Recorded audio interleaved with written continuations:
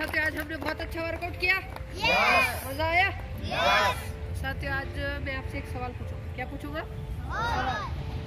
तो सवाल ये है कि लक क्या होता है? नसीब।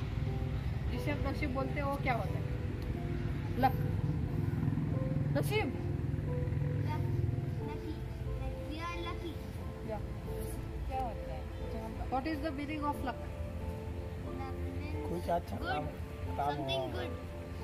Something good. If we got something good, it's like I got, uh, I am very good luck. That's Good. why I got this. Sultan के लिए थैंक यू और कोई? मुझे सीखने जो हम पाना चाहते हैं वो सही टाइम पे मिलना है। यस सर और अपने तरीके से मिलना उसको मैं लग मानता हूँ। बिल्कुल सिद्धे सर के लिए जोरदार thank you sir thank you लेकिन एक आम इंसान के लिए लग क्या होता है? कोई इंसान कामयाब होता है तो लक यस सर नो? आज जिसके पास पैसा है तो वो कौन है? लकी है। आज जिसके अच्छे मार्क्स आए तो वो कौन है? लकी है। आज मुझे आई बनना मैं नहीं बना मेरी जगह पे शिंदे सर बन गए। शिंदे सर कौन है? आज की दुनिया में लक क्या होता है? किसी की कामयाबी यानी क्या हो गया? लक। साथियों हर इंसान यह सोचता है कि मेरा लक कितना अच्छा होना चाहिए। भगवान करके मेरे को आई बना दीजिए। किसी का सपना कुछ भी हो सकता है। भगवान करके मेरी ये इच्छा पूरी हो जानी चाहिए। यस और नो? यस हम लक को बहुत क्या करते हैं अहमियत देते क्या देते इम्पोर्टेंस इम्पोर्टेंस देते लेकिन साथियों लक के पीछे जो मेहनत होती वो कोई देखता है क्या? नहीं। मार्क जुकनबर्ग कौन है? कोई बता सकता है? मार्क जुकनबर्ग फेसबुक के लिए ज़रूरत थैंक यू तेईस साल की उम्र में वो मिलीनियर बन चुके थे। कौन से साल में? तेईस twenty three at the age of twenty three was a millionaire yes और नो यस वो मिलीनियर थे तो एक आम इंसान मेरे जैसे जो अठारह बीस साल का है तो वो क्या बोलेगा? हम सबने क्या बोलना चाहिए? मार्क जुकनबर्ग कितना लकी है तेईस साल में फेसबुक का मालक बन गया करोड़पति बन गया आलीशान गाड़ियों में घूम रहा है महल में घूम रहा है कितने मज़े यस और नो लेकिन वो चौथी जब वो चौथे साल का था कितने साल का? चार साल का जब से वो कोडिंग सीख रहा है। क्या सीख रहा है? कोडिंग कि। मैं एप्लीकेशन कैसे बना सकता हूँ? कौन सी ईयर से? चार साल से। कौन से ईयर से? चार साल से यानी चार साल से लेकर तेईस साल तक की मेहनत जो थी वो उसने उसे फेसबुक दिया। ये सर नो Yes. और हम क्या बोलते हैं? लक था। हुसैन बोल्ट हुसैन बोल्ट को कौन कौन जानता है? सभी जानते हैं? ये सर नो कितने सबसे स्पीड रनर है स्पीड अप ये सर नो बहुत तेज़ी से दौड़ता है लेकिन वो मतलब बहुत कम दौड़ता है और फिर भी उसे करोड़ों पैसा मिलता है बहुत पैसा मिलता है। तो हम क्या बोलते हैं कि वो बहुत लकी है कि उसे बहुत अच्छी कामयाबी हासिल हुई।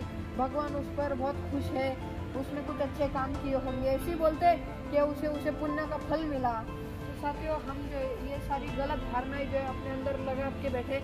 ये लक जो होता है, ये कुछ नहीं होता, बल्कि हमारी सारी मेहनत होती है क्या होती है? मेहनत। लक बिल्कुल भी कुछ नहीं होता, कुछ नहीं होता। लॉटरी वगैरह सब फेक है लेकिन हमारी मेहनत हमें ज़्यादा आगे लेकर जाएगी। और जो इंसान कामयाब होता है हम उसे लक का नाम दे देते हैं लेकिन उसकी मेहनत को कोई नहीं देखता। आज किसी का कौन आइडियल? आपका आइडियल कौन है? शुभम आइडियल यानी आप किसके तरह बनना चाहते हैं? आर्मी। चलो शुभम के लिए जोरदार तालियाँ। सुल्तान IPS. चलो सुल्तान किसको किसको फॉलो करो? किसको फॉलो करो? किसके तरीके से मतलब अभी जैसे एपीजे अब्दुल कलाम जी को फॉलो कर रहे हो या आपको कौन ये गुरु को फॉलो कर रहे आई एस बोला उन्होंने। हाँ, इंद्रनील?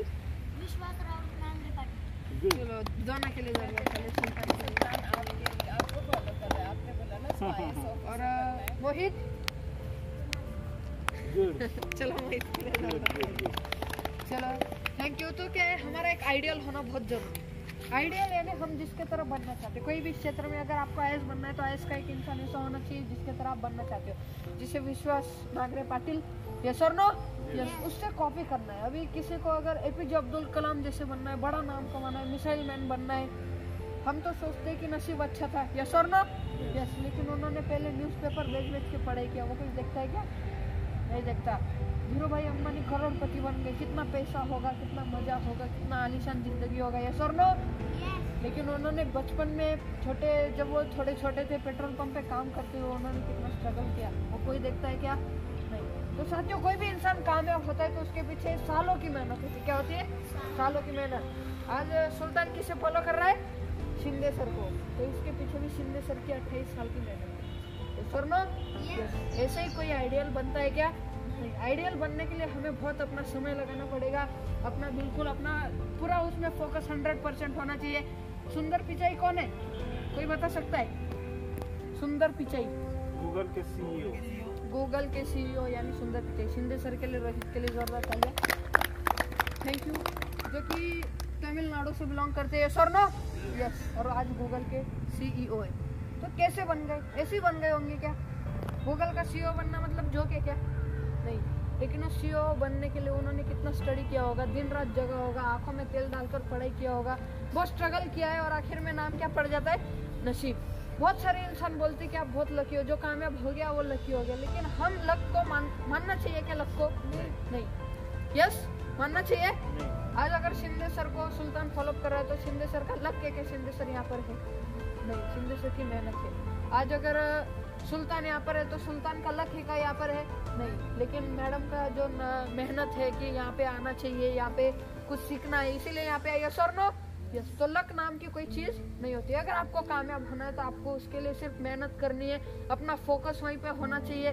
आपका जो फोकस होगा आप उसे हंड्रेड परसेंट अचीव कर सकते हो। तो अभी मेरे को यह बताइए कि लक किसका अच्छा है? हम सब में से किसका अच्छा लगे सब ये तो बस मैडम का सर का अच्छा है। किसका अच्छा है? सबका। किसका अच्छा है? सबका। चलो सभी के लिए जोरदार ताली। क्यों? क्योंकि हम सब यहाँ पे हैं। क्योंकि हम सब यहाँ पर है बिल्कुल सही दिशा में। हमें हमारे गुरु लोग लेकर जाएँगे और हमारा जो गोल है जो टारगेट है उसे हम ज़रूर अचीव करेंगे। वो भी लक्ष्य नहीं बल्कि हमारी खुद की मेहनत से। मेहनत करने के लिए तैयार? करने के लिए तैयार? यस तो आपको कामयाब होने से कोई नहीं रोक सकता। बस अपने जीवन में इस लक नाम की चीज़ को हटा देना और दूसरा का, दूसरा से हमें प्रेरणा लेनी।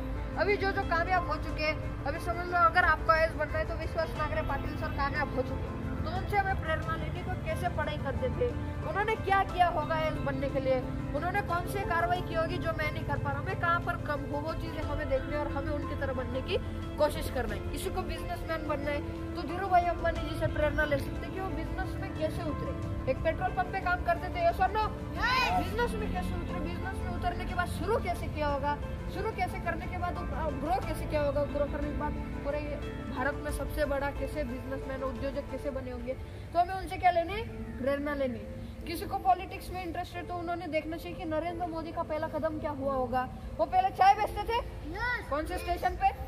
वडनगर? गुजरात के वडनगर स्टेशन पे चाय बेचते थे सर नो पहले चाय बेचते थे। एक चाय वाले को अगर पूछा जाए आपका क्या सपना है तो क्या बोलेगा? मेरा सिर्फ़ इतना सपना है कि दिन में दस कप बीस कप जो भी उसका कोई छोटा सा गोल होगा वो अगर चाय चली जाए तो मैं खुश हूँ।